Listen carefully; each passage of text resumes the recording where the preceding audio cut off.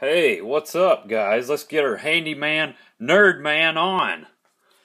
I made this super simple bicycle chain guard, and you'll never guess what I made it out of. Yeah, no, I'm kind of racist. This vanilla. Anyway, the first one I made worked alright, but it was just a prototype. So, this one, I only have two screws holding it on it's a 632, very small, in here, and then I drilled and tapped a hole in the uh, crank arm right here. that's aluminum crank arm, very easy to drill and tap. So this is a 26 inch GT Outpost 21 speed. It's a freebie I got from a guy that didn't want it.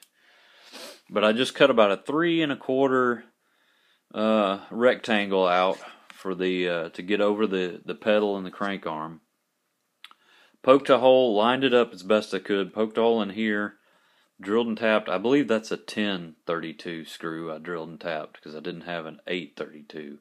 But you can use a 632 if you want, even smaller. That's just all I had. But then you cut, uh, hold it up to the to your uh, sprocket there and hold it up to the crank arm. Mark it with your sharpie and cut this tab off of the edge and poke a hole in it for your screw hole there. Now, there may be a factory screw hole. Uh, shoot. Where is it? Oh, opposite. No. Hold on. Where is it? Oh, yeah. It's right here. Behind the crank arm. There's something right right there that you may could use on this bike. But you get the general idea. Just use. I got sick and tired of it. Grab, snagging my pants and ripping a hole right there.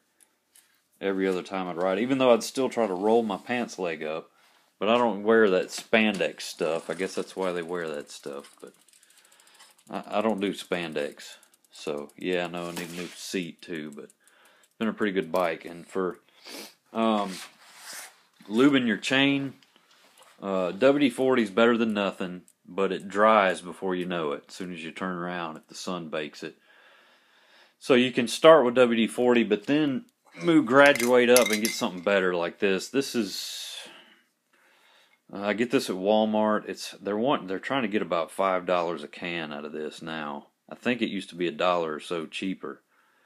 So anyway, you can put it put the bike in uh, low gear and run it backwards so you can run the chain real fast backwards while you spray it. And that works pretty good. This has just got air in it. And it's got a little bit left in it. But anyway, if you have more time, get you some cheap grease. Just some, any kind of dirt cheap bearing grease, cheap grease, and a toothbrush. And go through and just wear it out. Um, coat the inside of that chain and and try to get to get some on the on the sprocket gears too while you're at it. And uh, do that every six months or year or whatever. You should be fine. It should quiet that chain down quite a bit. So anyway hope that helps somebody out. And uh, keep rocking. When are my boys Sevendust coming back to nastyville? I mean nashville. I love the video live video they made for this song. Field play